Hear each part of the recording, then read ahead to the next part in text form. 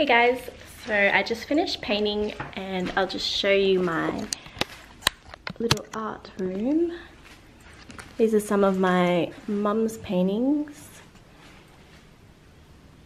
But today's painting is a different style to that. I copied one of my favorite artists' paintings. I just want to give all copyright to her. I didn't make up this idea. I was just basing it off one of her paintings. I'm still experimenting with my own style of painting, so for now I just like to copy other artists and then gradually I'll start making up my own artworks. So here's a little sneak peek of that and I just thought before we get into the time lapse, I would show you the type of paints that I use just for anyone that was wondering. So the main brand I use for acrylic painting is the Derivan Matisse Professional Artists Acrylic Color. So that's what the tubes look like. And yeah, most of the acrylics that I use is this brand. I just find it's a really good quality brand. It is pretty pricey, but I get my student discount, so yeah, the only thing I would say about these paints, if you're thinking of using these, is that they oxidize a bit, which means they just darken it a bit when they dry. So when I'm actually putting the paints onto the canvas, I tend to like